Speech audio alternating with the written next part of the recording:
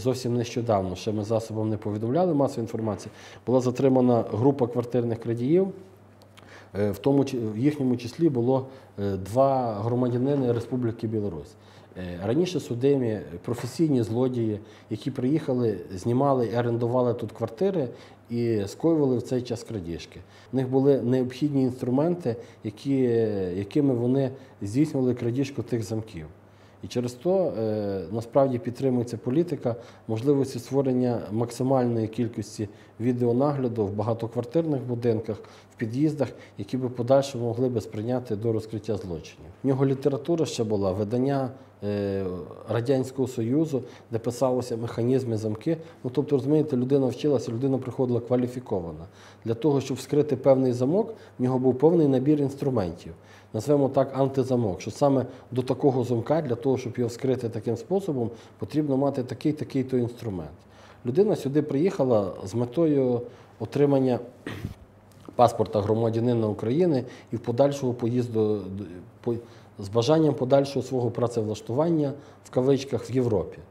Але завдяки ну, все-таки певній роботі правоохоронних органів, це була спільна робота і міліції, і прокуратури, е, вдалося е, ну, цих осіб затримати і згідно законодавства депортувати їх в е, Республіку Білорусь, де по них там приймається закон. Злочинці продумують всякі знаряддя, агрегати, які повторюють форму цих замків, можуть використовувати підручні средства, такі як фольга, можуть е, частину е, ключика спилювати, туди класти фольгу, щоб вона повторювала контури тих робочих елементів, які називаються штифтами.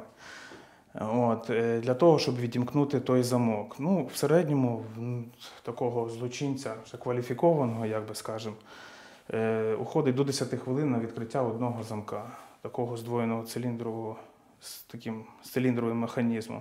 Ще використовують такі замки сувальним механізмом. Там е, замість штифтів, оцих робочих елементів, виконують функцію запирання. Сувальд це такі пластини металеві. От, він рахується з більш секретністю, з більшою секретністю, але і такі теж відмикаються. Таких замків, які б не відчинялися, майже немає.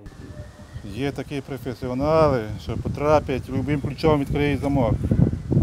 Що тут говорити? Вони можуть, я, допустимо, на першому поверсі, щоб вони можуть залізти через форточку. Це не проблеми. Відеокамери це хороша штука. У нас нібито тут і закрито, і все, але для злодіїв, мабуть, не існує, щоб не пробрались. Ну, я думаю, повинна бути відповідна суспільна мораль і статок людей, тоді не буде з- менше буде злодіїв. Від злодіїв, якщо він захоче щось красти, то ніякі ні замки, ні ну нічого не допоможе. Ну тут, тут я вже не знаю, там вже і двері ставлять, які ну не знаю. Ми живемо в хаті 200 метрів звідси. Навіть не закриваємо, нормально. У вас нема що красти, так? Є, що нема. Ноутбуки, телевізори, все є.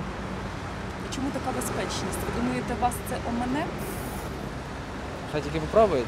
Не приводьте в квартири випадкових людей, не впускайте людей, які приходять з будь-якими мотивами, будь-яким пояснюючи, знаєте, просячи там на АТО, на церкву чи на якісь різні речі.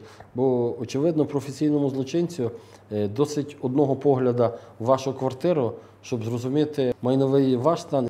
Дуже велике прохання до батьків е, стосовно дітей, ну, тому що є, наприклад, крадіжки, коли приходять невідомі е, особи до е, дітей і, представляючись друзями батьків, е, просять знайти в вашій квартирі якісь речі. І користуючись тим, що е, дитина шукає, наприклад, флешку, яку забирає якісь цінності.